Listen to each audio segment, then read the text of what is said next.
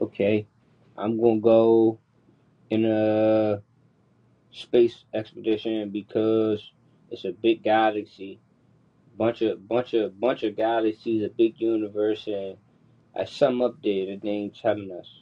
It's something. Just because we can't get to it, don't mean it ain't true.